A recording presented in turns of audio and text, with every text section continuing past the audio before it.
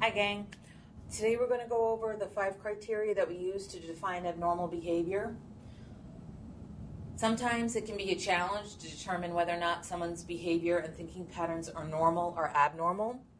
And because it can be so confusing, the psychologists and psychiatrists here in the States and from around the world have come together and determined five criteria, five factors that a person has to have in order to be considered uh, having a diagnosable disorder.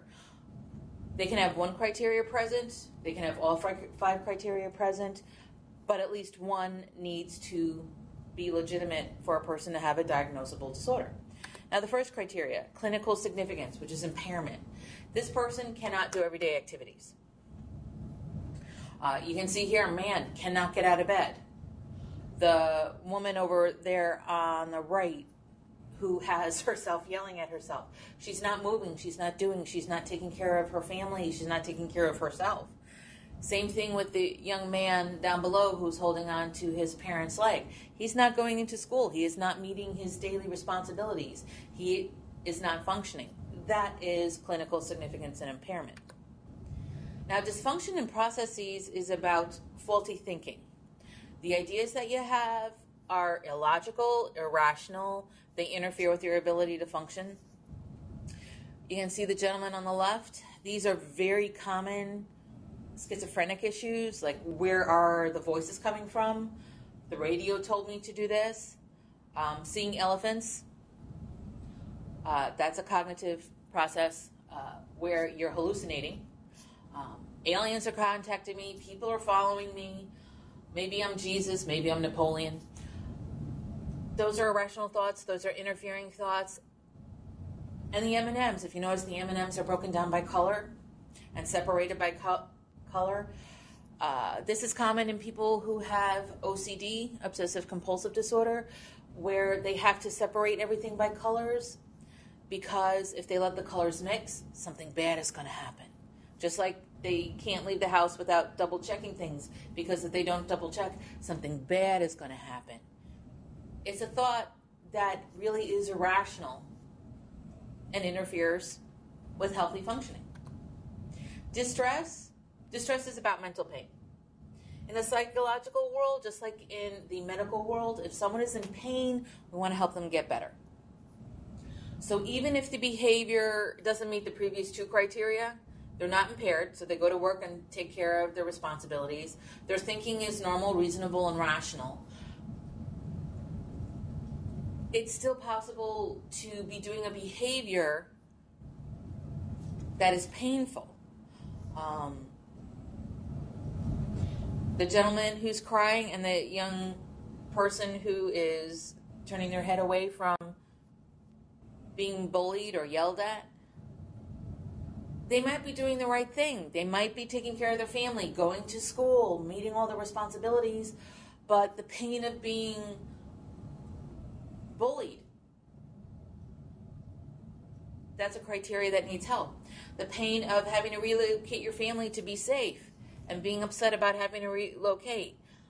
That's a pain that could need help. And then, of course, the lady there over on the right who has the smiling face to the world and then the sad face or the um, it looks like a depressed face. In private that's pain. Mental pain. Deviant. Deviant means against societal norms. Usually the easy way here to determine if someone is deviant is if their behavior breaks the law. Murder breaking the law. Deviant uh, the gentleman who is flashing himself to other people, uh, there's laws for lewd and lascivious behavior. This one is the tricky one though, because sometimes what some people consider to be deviant isn't necessarily against all society norms. That's why there's the young man there who, on one side of his face, is his drag queen self, and on the other side of his face is his everyday male face. The question is if someone is a drag queen, is that truly deviant behavior that we need to fix? that we need to help with. This one, it can be tricky. Unless we're talking about something illegal, then not so tricky. Now, the last criteria, and this is the criteria that can be very confusing dysfunction in relation to society. This means the way the person was raised, the behavioral norms that they were raised with are antithetical to a broader or general society. So, this tends to refer to people who have been raised in isolated communities, these isolated areas. Um, on the left hand side, you can see first there's a group of women who are wearing uh, traditional dress for a specific fundamental LDS group, specifically with Warren Jeffs.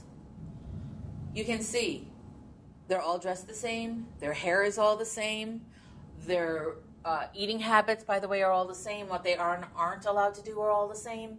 Uh, in the other picture, you can see they are no longer with the Warren Jeffs group. So they were able to change and adapt, but when they left, they thought riding bicycles was immoral. They thought consuming dairy products immoral.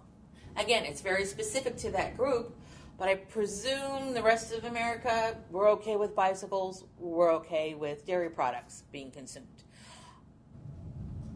The Japanese picture to the right, Harikari, uh, which is committing honorable suicide in order to preserve either your honorability or the, your family's honor. I know it's no longer practiced anymore, but that idea that some people are raised in order to preserve honor, in order to make sure no shame is brought to your family, you must kill yourself. Here in the United States, that's not so much the thinking. But it was very specific, very traditional in Japanese culture. And as an interesting side note, uh, since this is being recorded in New York, in New York, committing suicide is illegal. So, again, it's the dysfunction in relation to society. Here in New York, suicide is illegal. Japanese culture, suicide is acceptable to preserve your family honor. So those are the five criteria to determining whether or not someone has a psychological disorder. So thank you. Bye.